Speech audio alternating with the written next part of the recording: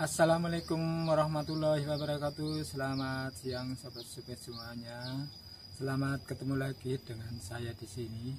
Dan saya di sini akan mengajak kepada sobat semuanya Bagaimana kita membuat bumbu some. Yaitu ada bahan-bahan antara lain sudah saya siapkan Yaitu ada garam Ada kaldu sapi Ada bawang goreng.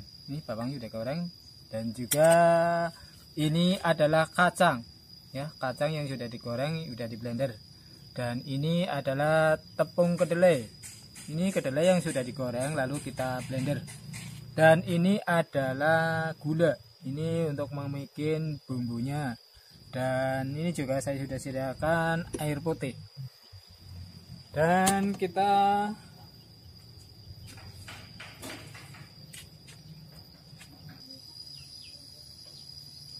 Ya, pertama-tama kita akan uh, tuangkan air ya, dua, gelas, dua gelas air.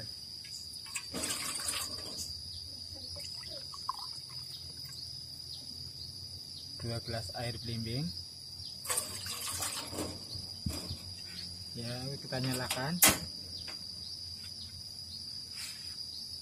Kita ambil gula merah ya.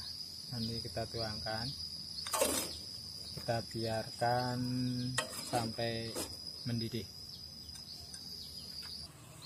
Oke kita aduk terus gula merahnya. Sampai remuk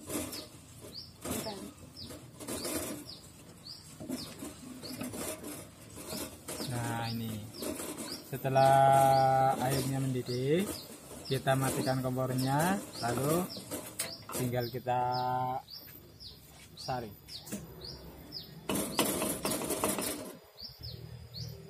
Oke, ini sudah gulanya sudah mencair ya. Kita saring di sini.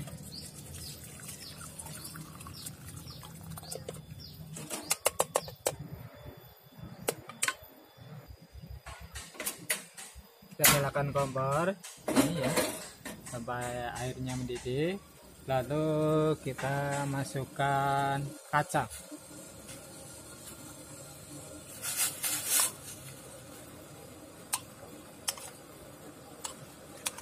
Kacangnya sudah direbus ya. Kompornya jangan terlalu gede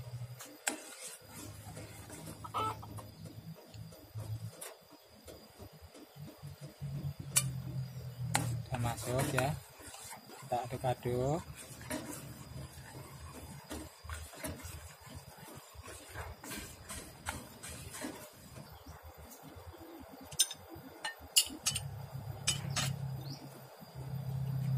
Oke, kita tinggal masukin bumbu-bumbunya.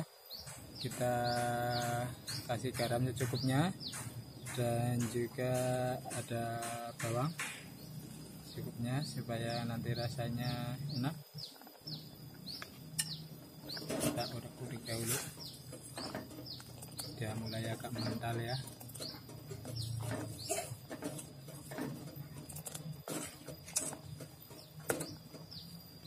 Lalu kita masukkan rasa kaldu.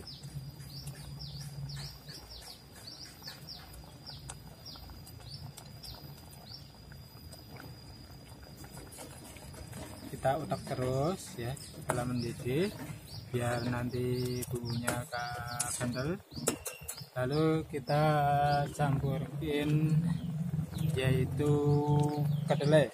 Kedelai yang sudah digoreng yang sudah di blender secukupnya aja. Supaya mengental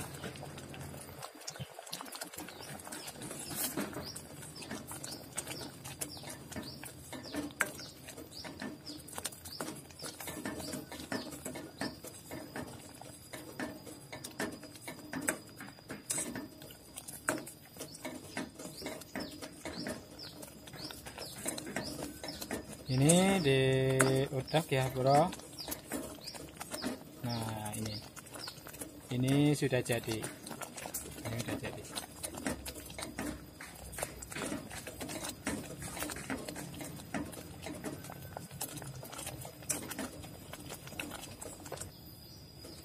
Oke sobat kita aduk terus bumbunya sampai bumbu ini benar-benar matang dan mengental.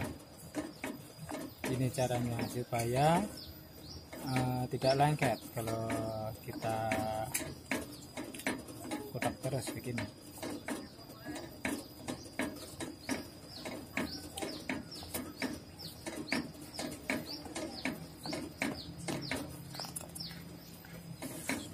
Ini terus dikotak ya sampai nanti mendidih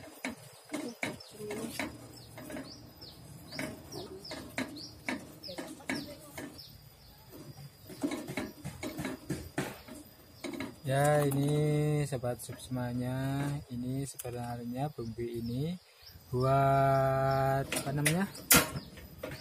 Bumbu somai rasa sapi.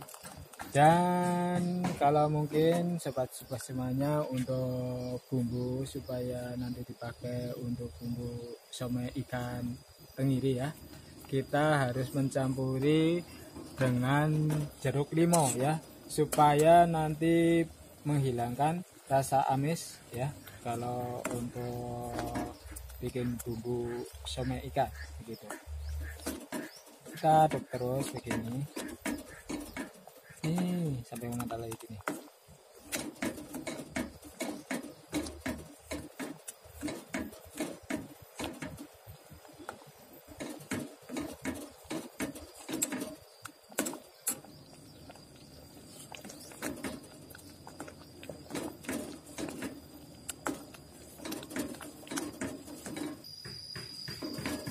Oke sobat sub semuanya.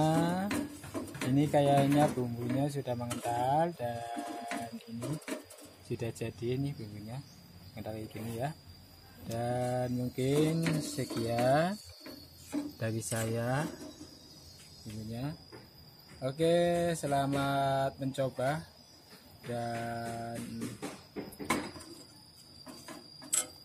Oke selamat mencoba dan selamat berpisah Assalamualaikum warahmatullahi wabarakatuh